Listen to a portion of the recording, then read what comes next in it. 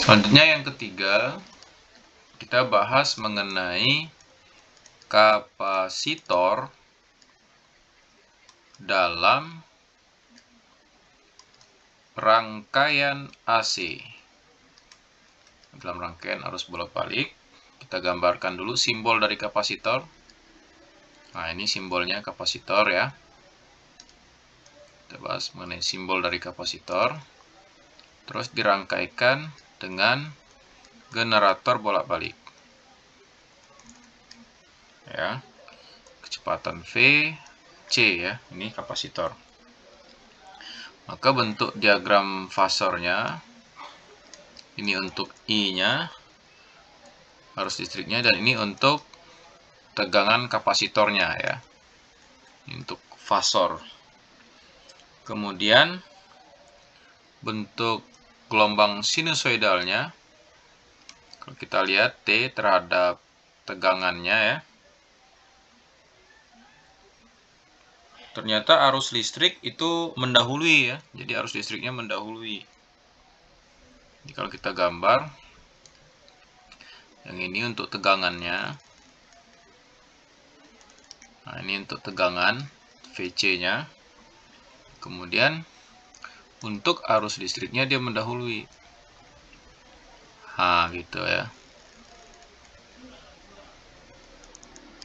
Mendahului 90 derajat ya. Mendahului 90 derajat. Ya, nah, ini untuk I-nya ya. Kalau ini V. Sehingga berlaku ya untuk V sama dengan V kapasitor itu sama dengan V maksimum sin omega T. Untuk arus listriknya I sama dengan I maksimum sin omega T plus V per 2 karena arus listriknya mendahului mendahului 90 derajat. Jadi poin pentingnya untuk sinusoidal ini yang pertama adalah I arusnya itu mendahului ya. Mendahului VC ya. jadi mendahului VC ini 90 derajat. Atau kita bisa buat trik cara menghafalnya ya sini bisa kita tulis C. Itu ya untuk khusus C arus lebih cepat. Jadi arusnya lebih cepat. 90 derajat dari tegangan.